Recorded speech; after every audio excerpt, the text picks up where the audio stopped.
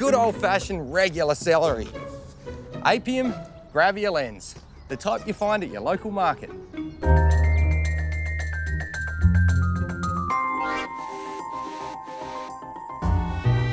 If you're growing from seed, plant about six seeds to the punnet. Just cover, then place the punnets in a low container of water.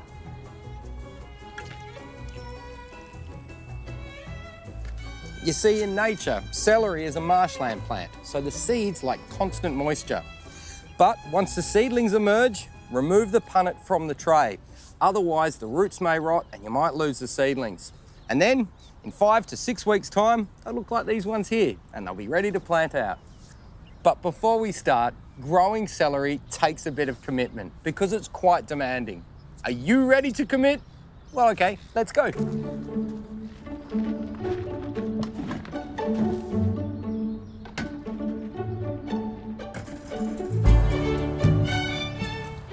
For celery seedlings to thrive, you need full sun and a deep fertile soil. I'm feeding up this patch soil with some delicious homemade compost. I'm just creating some trenches, about 30 centimetres apart. The thing with the trenches is, is the water will tend to sit in them and give the plant that moisture it needs to stay sweet. And I'll be spacing the plants about 20 to 30 centimetres apart.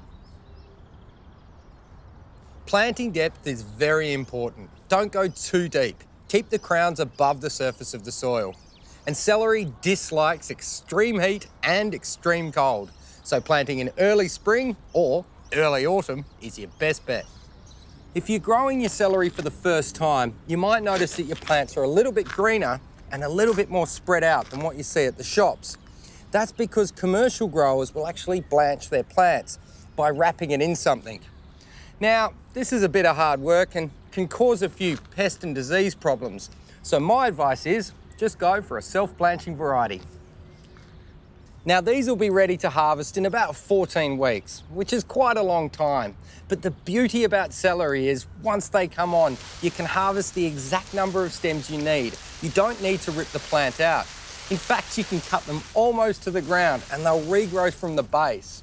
These are a biennial plant, so they'll usually give you a harvest for about 12 months before they go to seed. However, if they do get stressed, usually through lack of water, they will bolt and go to seed, and then they're done.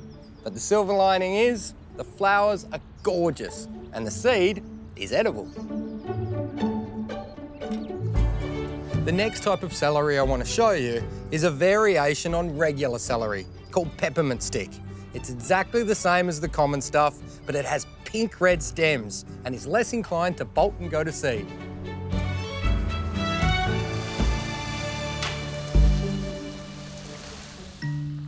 The last type of celery I'm putting in today is Chinese celery, otherwise known as leaf celery. It's a perennial, so it'll keep coming back year after year. The stems are smaller, but they've got a really strong flavour, and the leaf is used as a herb. I'm putting in two, just to finish off the bed. It's quite happy in the same conditions as regular celery, but will also cope with less water and fertiliser, and will even handle some shade. By the way, if you don't have much room, celery is quite happy in a pot, as long as it has about a 10 litre volume or more, and you need to keep the water up to it. I add extra compost to the potting mix to increase the water holding capacity. Now, the quicker your celery grows, the sweeter it will be. So I apply a liquid organic fertiliser that's high in nitrogen, like fish emulsion, every fortnight. So whether you take the challenge of growing regular celery, Chinese celery, or some of our native forms, I reckon you're gonna have a good time doing it. See you next time.